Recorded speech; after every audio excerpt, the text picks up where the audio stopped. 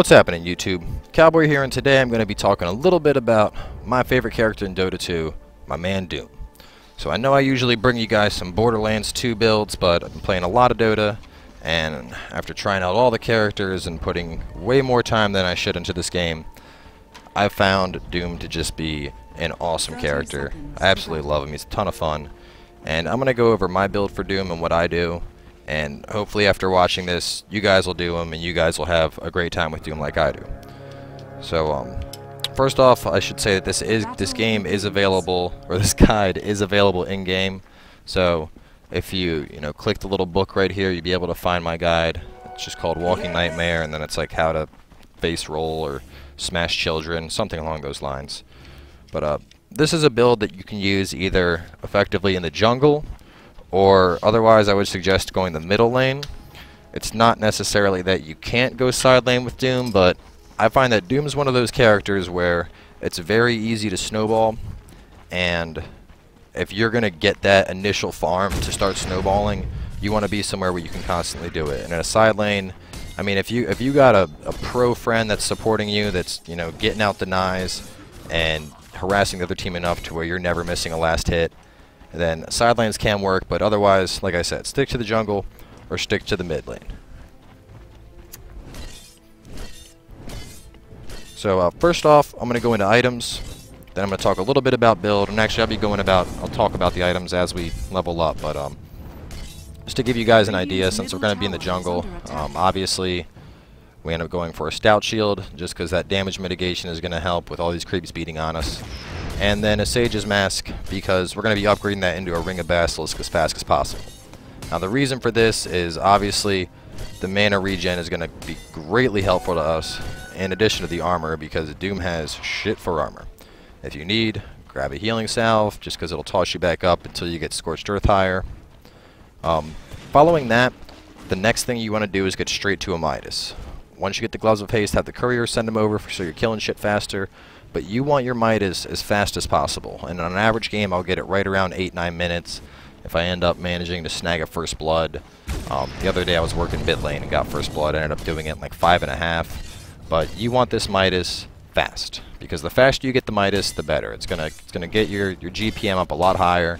As you can see, we're we're slowly starting to climb the the GPM ladder as Devour gets leveled up, and the idea behind this is when we're at max level, well not max, but when Devour's maxed, we're getting 100 bonus gold basically every 40 seconds off of that, assuming you're actually using it. And then with Midas, you're getting 190 gold every 100 seconds. And it ends up letting you snowball into pretty much any item you could possibly want. So a lot of people take this stuff and work their way up towards Radiance. Personally, I'm not a big fan of Radiance on Doom. I just feel like the um, the extra damage that we're getting out of Radiance isn't really necessary considering the way this build's going to work. So I'll get into that a little bit more later. But um, before we get into the mid items and final, let's talk a little bit about the skills. So with Doom, our priority is going to be Devour with this build. And that's because, like I said, we want to get this maxed as fast as possible so we can combo that along with Midas to get insane amounts of gold rolling in. So you can see we're at the 6 minute mark. We're already tied with Troll, which is, I mean, Troll's a crazy farmer to begin with, so we're coming along pretty good, especially considering we're just chilling in the jungle. Um, along with Devourer, you want to be simultaneously leveling up Scorched Earth, because this is what's going to allow you to stay in the jungle. And like I said, with the Ring of Basilisk, you should have enough mana to constantly alternate between Devour and Scorched Earth, as long as you're not using any, you know, ridiculous creep abilities like Ensnare. I mean, I don't, I don't have a hundred I mean, if my team is going to 100% get a kill, I'll blow 150 mana on it. Otherwise, forget about it. Because unless you're playing with friends, your team is probably a bunch of randoms that don't speak English and they're horrible anyway. So, um, that being said, um, obviously, once you get level 6, you want to get points into Doom, and in my opinion, Doom is, is it's the best single target crowd control ability in the game. I mean, you lock somebody out from using items, and abilities for a full 15 seconds. And it's all about how you use this. Like, if I were to use this on something, you know, like Troll Warlord, probably wouldn't matter that much, because he's just going to run up and start smashing me anyway, or something like, you know, uh, or Drow.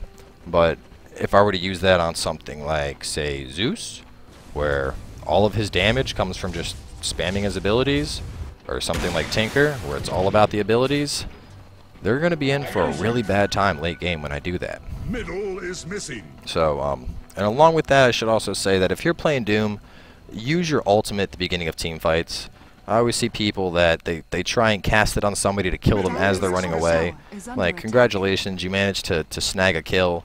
But, like, if you're in a team fight, if you're to use that on, say, someone like Zeus at the beginning of the fight, you probably could have saved half your team from just getting blown up.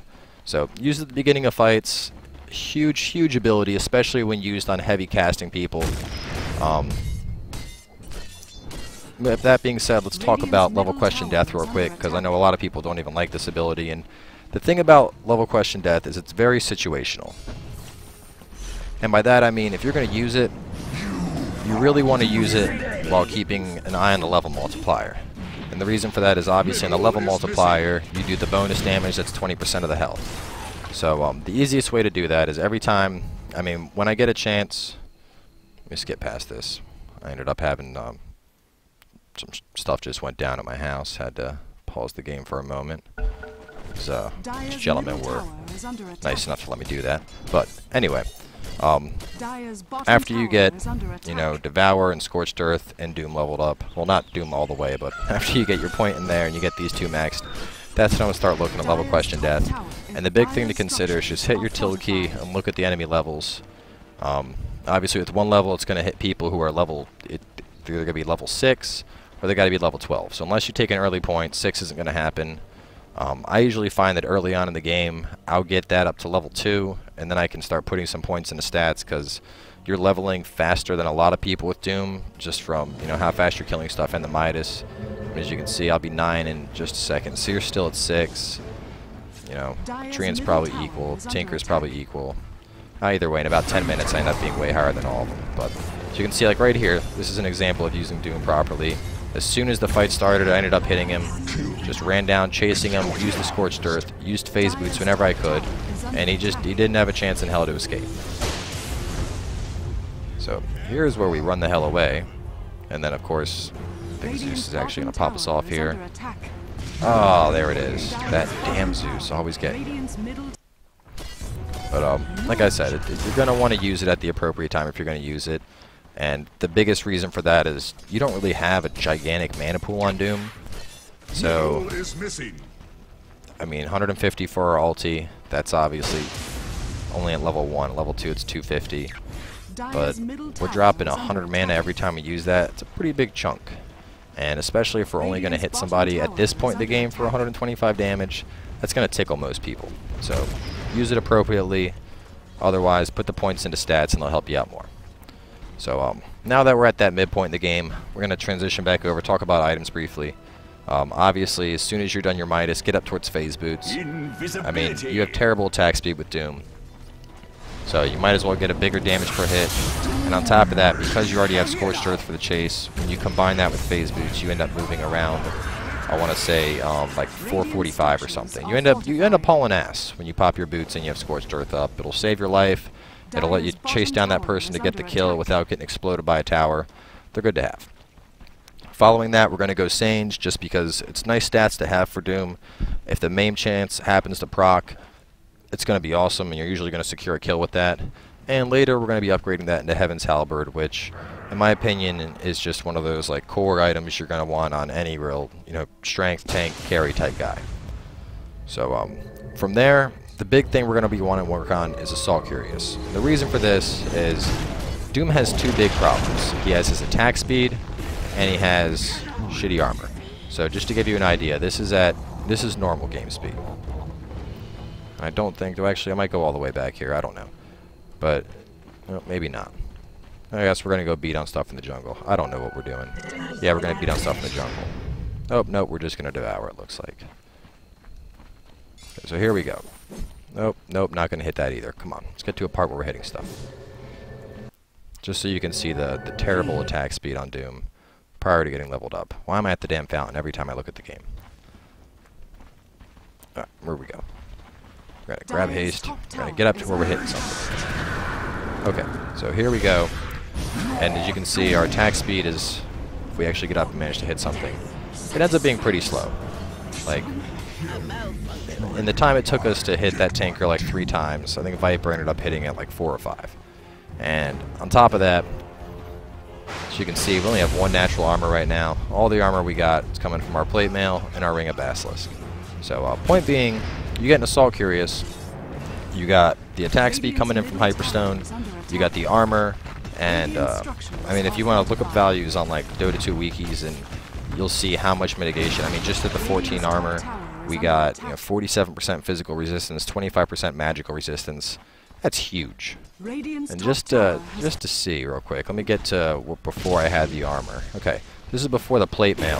Before getting the plate mail, I'm at 21% physical damage.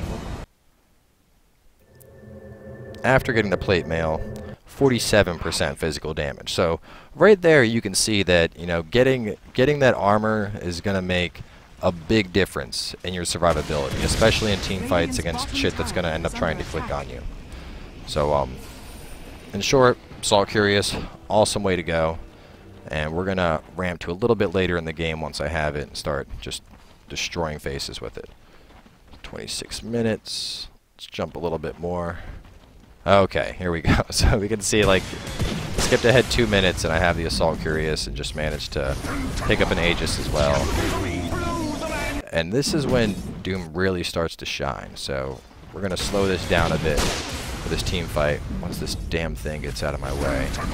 Okay. So right here, you can see the attack speed starting to get up, starting to get better. Just smashed that guy, just smashed Spectre. I got Tinker chasing me. I'm going to get him to, to come a little bit more. Let's see. Oh no. Tinker and Zeus and Zeus decides to abandon Tinker. Tinker thinks he's going to kill me for some reason. Tinker doesn't have a chance in hell. You can see just two hits, level question death on there, and you can see these crits propping off, and Tinker just just got destroyed. And I mean, that armor reduction you're going to get from Assault Cuirass, it's going to help you just, you know, absolutely slice through the other people that don't have armor. And it really ends up being pretty beautiful late game. So, um, following that, I usually end up getting a Vlad's just because you already have insane GPM, you already have the Basilisk. It's, you know, it ends up being like, I think, 1500 to complete, which is, you know, chump change when you're playing something like Doom. Can see right here, I'm pulling in almost 200 more gold per minute over the second place person right now in terms of GPM. But, um, yeah, it ends up ramping up pretty considerably. So, um, let's skip ahead to later in the game and and see what how our Doom's doing. Oh, right when he died. Okay, so where are we at now? Let's see. Okay, so at this point, we're 17 and 4, which I'd say is pretty good on Doom. So let's uh, let's see what we're doing here. Okay, looks like we're gonna go kill Rosh a second time. Let's skip past that real fast. Rosh is dead. Storm Spirit got the Aegis because by now I have the Heaven's Halberd. And I guess I'm...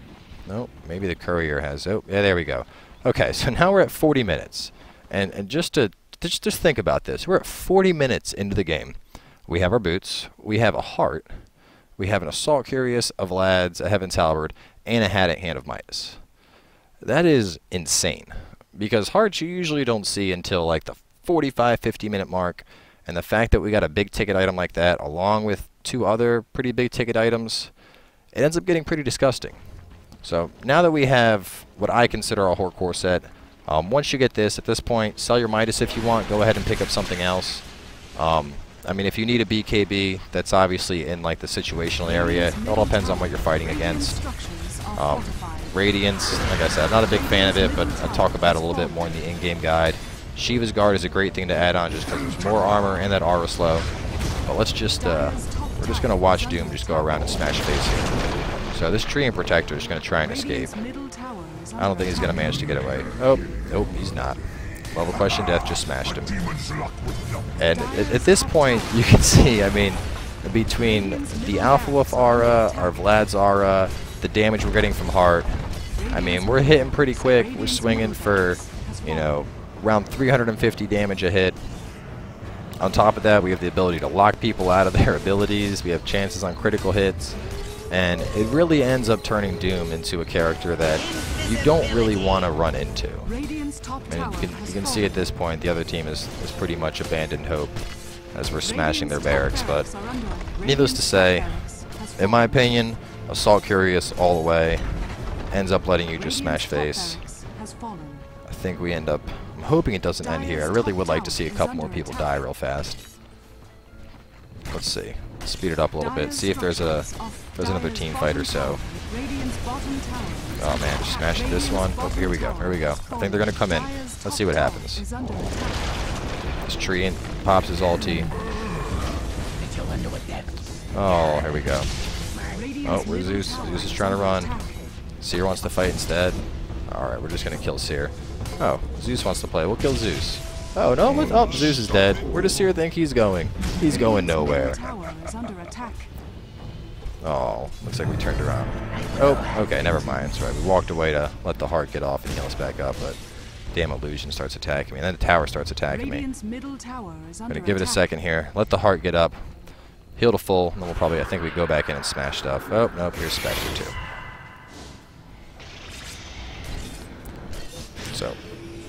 Spectre ends up getting gripped up. I don't even remember how this game ends, so it'll be interesting to see what happens here.